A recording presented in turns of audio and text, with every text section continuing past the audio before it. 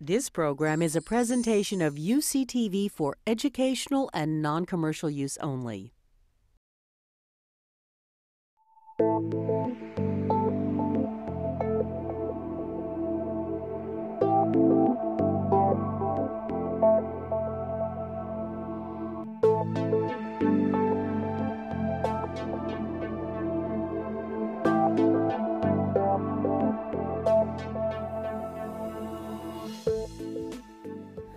Hello. Um, it is my pleasure to welcome Sara Houghteling today. Sarah graduated from Harvard in 1999 and received her MFA from the University of Michigan. She's the recipient of a Fulbright Scholarship to Paris, first prize in the Avery and Jules Hopwood Awards, and a St- John Steinbeck Fellowship. She currently lives in the Bay Area where she teaches high school English and is married to the writer Daniel Mason, a match I might add that I have at least partial responsibility for. Pictures at an Exhibition, yes, see? Pictures at an Exhibition is a novel that Julia Glass calls an authoritative historical novel, a family saga, a labyrinthine love story, and a sumptuous meditation on the purpose and value of material beauty when war threatens the very fiber of civilization. In the novel, Max Berenson, the, the son of a famous Jewish art dealer and his pianist wife, is forbidden from entering the family business for reasons he cannot understand. He reluctantly attends medical school, reserving his true passion for his father's beautiful and brilliant gallery assistant, Rose Clement. Is that right? Okay. When Paris falls to the Nazis, the Berensons survive in hiding. They return in 1944 to find that their priceless collection has vanished. Gone are the Matisses, the Picassos, and a singular Manet of mysterious importance. Madly driven to recover his father's paintings, Max navigates a torn city of corrupt art dealers, black marketers, resistants, and collaborators. The New York Times Book Review writes that at one point, Max's father explains that he likes the Impressionists because they let your eye finish the picture. The same could be said of Houghteling's elegant prose. Max's voice is at once crisp and poetic, detailed and spare. While the Free Lance-Star writes haunting with amazing authenticity, the author tells her character's story with all the twists and turns of the very best fiction. Uh, one of the things that impressed me so much about this novel is Sara's ability to seamlessly pack a library full of historical facts into a novel so graceful and fluid. In fact, when I was reading the reviews of the book for this intro, I was generally shocked, genuinely shocked to find so many reviews call the book histor- a historical novel. It hadn't struck me that a novel so engaging and moving could be deemed historical fiction, a genre that I, at least, and perhaps wrongly, uh, think of as dense and heavy handed a lot of the time. But it's Sara's ability to create the world of pre and post war Paris with details as small as the description of a chan- chandelier to the vivid paintings of Picasso and Monet, alongside the inner world of Max Berenson, that makes this novel so effective. When we conceived of Story Hour, we wanted a place where both established and newer writers could share their work, and so we reserved one space a year for a first time novelist. Sara holds this place today, but I have no doubt that Pictures in, in, at the exhibition is just the first of many novels, and hopefully, this is just the first of many Story Hour readings. So, Sara.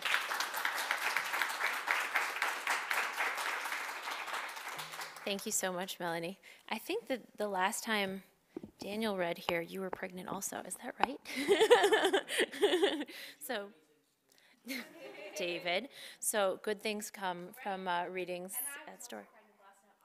Well, I better be careful. um, but thank you so much to Melanie and Vikram and to David and to, to all the members of the library staff that are here and that, that have brought me here. Um, this is a community I love because it's filled with writers that I love and scholars that I love. My mother's PhD advisor is in the audience. My mother got her PhD in 1972. Um, and there's a picture, oh no, she got it in 77 because that was the year I was born. And so there's a picture of her in her Cal blue and gold with me in one hand and a Cal diploma in the other. Um, so thank you all, and thank you all for coming. Can you hear me okay? Is the volume's okay? Um, so I thought that I would read two sections for you today.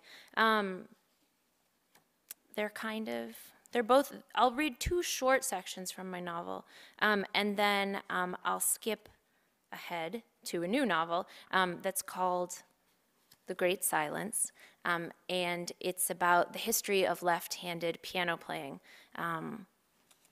And I thought, and hopefully after I read the connection between uh, my first novel, Pictures at an Exhibition, and the new novel will become clear.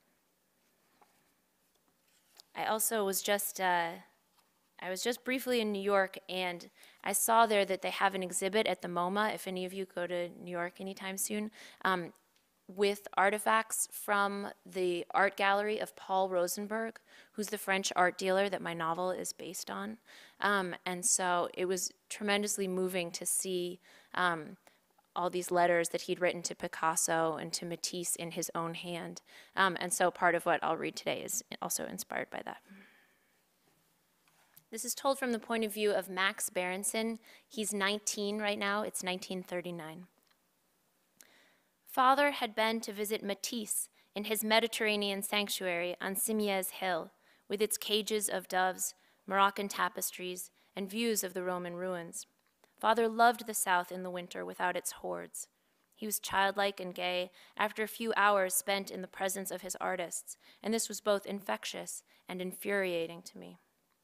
Tanned, sitting at our dinner table, he said, Last time, I chose one set of paintings, and when I had a leg over the threshold, the, the old Buddha said, Wait, Daniel, those ones I've decided to keep.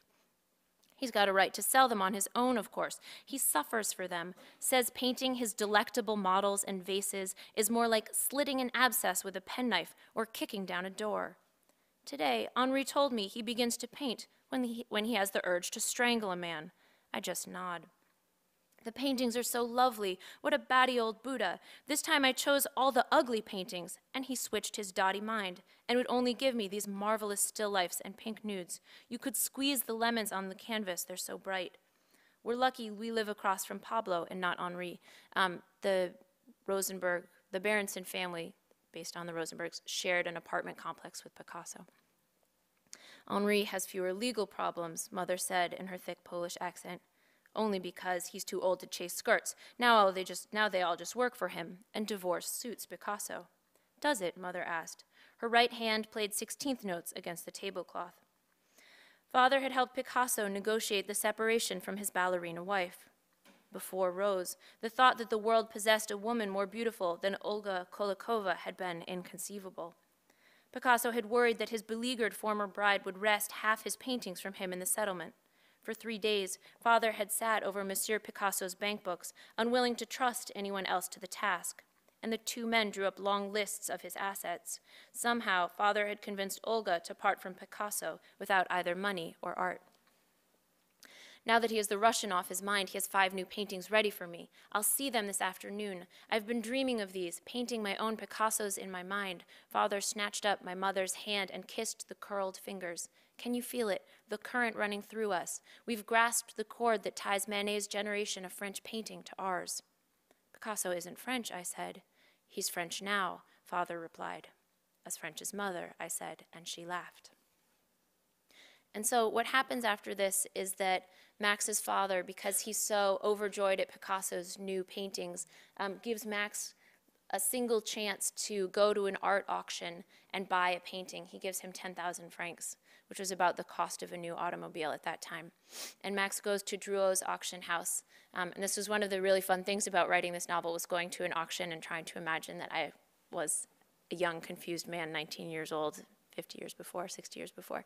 Um, and he goes to an auction house and he buys um, a Manet. And when he comes home, his father takes one look at it and says, You've bought a fake. And he's bereft. And and this is a scene that happens shortly there afterwards. The next day, I listened to the radio with mother. A Russian diplomat explained the importance of Finnish territorial concessions lest the Germans invade the Hanko Peninsula or use Karelia or Lapland as the bridgehead from which to attack Leningrad. It seemed to me that they were talking about Mars. Mother turned off the radio and played a few bars of music. When I hear Finland, I think of Sibelius, she said. My teacher heard Sibelius give a lecture on the overtones one hears in a meadow. You hear those too, I said. The mother is a professional pianist. Not a meadow, mother said. At least not usually. We don't spend much time in meadows, yet. Mother repeated daily her desire to leave Paris. All cities, she thought, were at risk. She played a few more bars of music. Here's someone else, she said. Not Sibelius. But it sounds the same. It's not. She played one phrase, then another. That's Sibelius. She played more notes. And that's Mussorgsky, who came first. But I can't blame the Finn. She played some more. Finally, she said, One can hardly blame a copyist. I realized then what she was trying to say. This was her own oblique, nearly opaque forgiveness, then, for my transgression, for the fake. In my youth, it had come as a revelation to consider that some of my mother's strangeness was a result of her speaking to me in a language that wasn't her native tongue. With the crisis in Europe, though, as mother grew ever more unusual, I decided that she would have been perplexing in any language. Or rather, that language for her was a necessity, but not her preferred means of communication. Thus, during an explanation such as this, it was best to sit quietly. I hadn't the training to discuss Sibelius or Mussorgsky. At times, I wished I'd continued the music lessons of my childhood. As an adolescent, this same kind of wish had led me to study Polish, secretly, for a few months, in hopes that one day I would speak to my mother in a proud declarative sentence and she would answer me with joy and clarity. Sadly, perhaps because gifts of music and language are often linked, I possessed neither one. She was now playing a new piece. Pictures at an exhibition. Mussorgsky wrote this for the painter Victor Hartmann, who died young, she said. They had an exhibition of his watercolors, and Mussorgsky went and composed a piece for each of the paintings, a composition that accompanied him throughout the exhibit. This, the promenade that I'm playing, means Mussorgsky was walking between paintings, movement one. And the first painting he saw was the gnome, and that's movement two. She played the promenade theme again. Listen to how dignified and precise the rhythm is. Then he sees another painting, I could hear the, a key change, and that's the old castle. This is the closest you can ever get to that exhibition. They say all of Hartmann's paintings have been lost, so there's only the music, and Mussorgsky drank himself to death. That same March, Mother developed a nervous cramp in her right hand that gripped her four fingers into a claw, leaving only the thumb mobile. It appeared spasmodically, and no doctor could treat or diagnose it. Her performing schedule was curtailed. No longer tied to the symphony season, she clamored for a move south. There was a known specialist in Nice and a hypnotist in Bordeaux. The humid climate might be good for her clenched muscles. Father delayed, and mother practiced Ravel's concerto for left hand. And so it's on this idea of a concerto for the left hand that I'll switch to my new novel, um, I became interested in this idea of the history of left-handed piano music, um, and uh, there wasn't a place for it in this novel, and I was doing too much research about other things, but it stayed with me, and it kind of became the foundation of, of The Great Silence, which is novel part two. Um, and I should also add that a lot of the, the research that I did for this new novel has been done in the, in the Berkeley libraries, and that I'm tremendously grateful for the support that you guys have provided. And I know David and Beverly have heard this before, but one of the ways I knew Daniel was serious about me when we first started dating was that he loaned me his library card.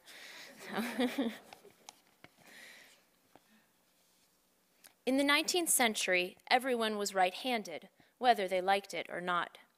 Likewise, all piano music has been essentially music for the right hand. The melody, the trills, the singing and fast moving line, all these belong to the beloved right. Thus, the history of left handed piano music finds itself in dark terrain. Even the word for left, gauche in French, sinistra in Italian, implies something is amiss, if not terribly wrong. Nevertheless, often a pianist has found himself in the situation where the right hand couldn't be used. Robert Schumann, born in 1810, was determined to perfect his technical skills. He assigned himself to play his own toccata 10 times daily and consecutively as part of his eight hour routine of keyboard practice. The piece is seven breakneck minutes long and demands from the pianist a continuous rocking motion from both hands, punctuated only briefly by a sudden stretch of the fingers to play the percussive unison octaves. But the toccata did not improve Schumann's dexterity. Rather, it only exacerbated what the Saxon already knew that his fourth finger on his right hand didn't move with the independence he had strived for. It remained the laziest of the five, meant only for wearing rings. So Schumann devised a machine made from a cigar box that restrained his middle and pointer fingers, stretching them into submission while he packed, practiced drills for the other three. Schumann fitted the contraption, his cigarin mechanic, with screws and a vise, which not only stretched his fingers, but, some say, broke the middle one. Others say the mutilation was of another kind, that Schumann attempted to operate on the tendons of his fourth and fifth finger himself, so as to free the fourth from its tendency to move with the little tyrant.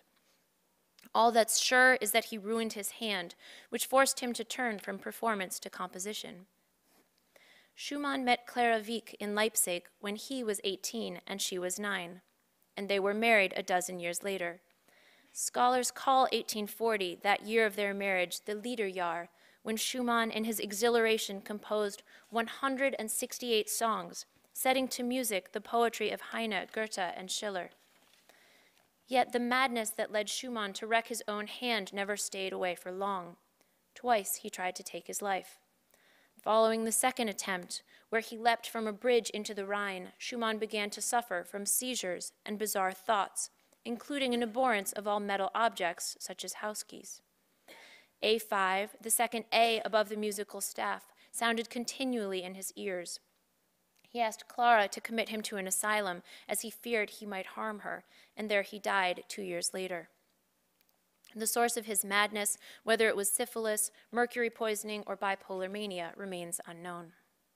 In 1877, 19 years after Robert's death, Clara, vacationing in Pörtschach, opened a drawer filled with plaster models of her husband's hand and injured her own. Johannes Brahms, as if he had known this, began that very day a transcription of Bach's Chaconne for the left hand only. It arrived in Pörtschach two weeks later. He wrote, I don't suppose I've ever sent you anything as amusing as what I'm sending you today, provided your fingers can survive the pleasure. I wrote it for you. But don't overstrain your hand. It requires much resonance and strength. Play it for a while mezzo voce. If it doesn't exert you too much, which is what I'm afraid of, you ought to get great fun out of it. He had limited his chaconne to five fingers, he explained, because Bach had had only the violin's four strings on which to compose his variations. Clara wrote in reply. Just think, wasn't it strange, on the day you've dated your chaconne, the day after my arrival here, when I was opening a drawer, I indeed strained a muscle in my right hand. So you can imagine what a glorious refuge your chaconne has been to me. What seems to be most extraordinary about it is the way in which you so faithfully reproduce the sound of a violin. It's true my fingers don't altogether master it, and my right hand itches to join in. The Brahms transcription demands much from the thumb. The fingers must be capable of leaping over it while the thumb does its work beneath. But beyond the technical challenges lay the darker significance of one hand playing alone. Is the chaconne Brahms's metaphor for Clara, living without Robert. Or perhaps it's Brahms, performing and composing in solitude, yet thinking always of Clara, whom he loved with his soul, if not with his flesh.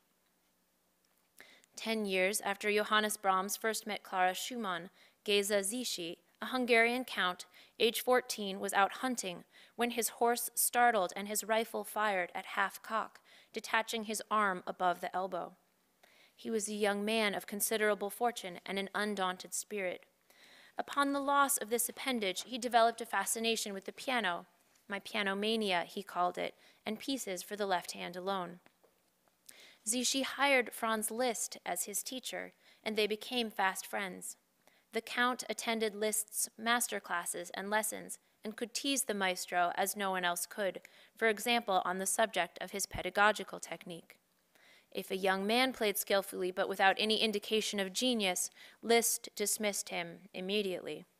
However, if the pianist were a young woman, and a pretty one at that, Liszt would listen to her for the better part of an hour, often resting his hand upon her hair or shoulder, murmuring, Remarkable, remarkable. The male students were outraged at having to listen to inferior playing at such length and came to the general conclusion that Franz Liszt hardly listened to anyone play at all. Zichy confessed to Liszt a desire to compose for the left hand, and with Liszt's encouragement, wrote a great many pieces for it, most of which, though technically challenging, are quite dull. But the work did presage Zichy's concern for fellow amputees, a concern which soon reached tremendous proportions with the Great War. Soon, there were so many disabled amputees from the battles at Serre, Tannenberg, and the Marne that by 1915 it was possible for Zichy to perform a concert attended solely by men with one arm. Zichy's monograph, Das Buch des Einarmigen, went through five printings. This Book of the One Armed instructed his fellow amputees on how to peel an apple, shuck oysters, shave, knot a tie, and tie shoes, and recommended everyday household items for use as levers and grips. But it was a would be student of Franz Liszt's who composed the greatest number of pieces for the left hand.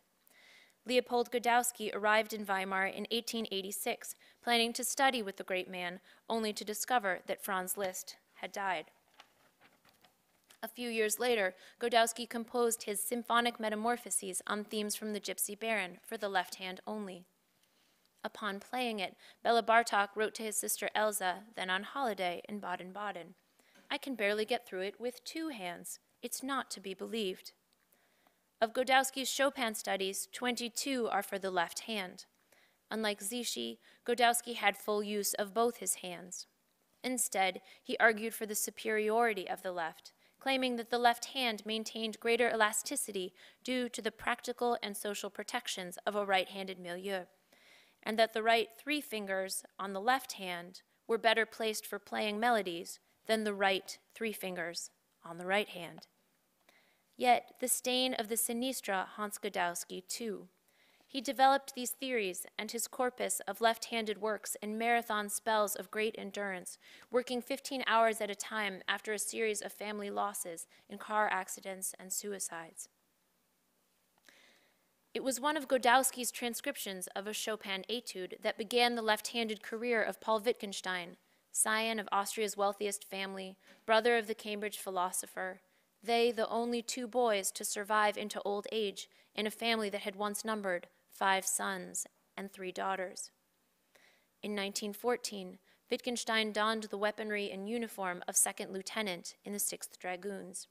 The 8 millimeter pistol, carbine rifle, saber in a steel scabbard, black plumed helmet, red cartridge belt and breeches, and pale blue coat. Wittgenstein and his fellow officers flashed brightly against the bare Polish forests, as if exotic birds had been scattered in the snow as targets for the Russians' guns. The wound Wittgenstein sustained need not have cost him his arm. However, the shattered limb was amputated inexpertly and in haste. Indeed, in between the time when Paul was anesthetized and when he regained consciousness, the hospital in which the operation took place had been occupied by the Russian Fifth Army. The wounded men there were transferred on biers, on trains without heat or electricity, to a prisoner of war camp in Siberia. There, in addition to tutoring his fellow inmates in French and Russian, Wittgenstein found an empty crate and marked it with charcoal to indicate the 36 black and 52 white keys on the piano's keyboard. For the duration of his imprisonment, Wittgenstein practiced piano with his left hand in this makeshift way, working out the fingering for Godowsky's arrangement of Chopin's Revolutionary Etude. Back in Vienna and then later in exile on Long Island, Wittgenstein envisioned that he could save his piano career in two ways. First, he commissioned his era's great composers, Prokofiev, Hindemith, Britten, Strauss, and above all, Ravel, to write concerti for his left hand. And yes, they were for Wittgenstein's left hand alone for patronage included the stipulation that Wittgenstein be their sole performer. For a decade, in the case of Prokofiev and in the case of Ravel, until Wittgenstein's death. By 1951, Henry Tanner, aged 11, could hear Glenn Gould's recording of Bach's Goldberg Variations a single time and replicate the first 12 movements without ever having seen the score. He also played it with a regular pace of three second breaks every 23 minutes, as this was how long it took the Thorens record changer at WGBH to turn over the automatic sequence LPs. Tanner traveled to the USSR for the Moscow Piano Competition in 1958, where he delighted crowds and drew the attention of the CIA by speaking in Russian. By all accounts, until the attack that cost him his right hand, he appeared on the brink of great international fame, rivaling that of any other prodigy from Toronto, Leningrad, Languedoc, or Shreveport. These are all cases for the history books, and beyond the fact of being mere arcana, would matter to few aside from the musicologist or the historian or the bureaucrat who thumbed the CIA files, unless the person in question was your brother, and he was waiting for Paul Wittgenstein to die. Thank you very much.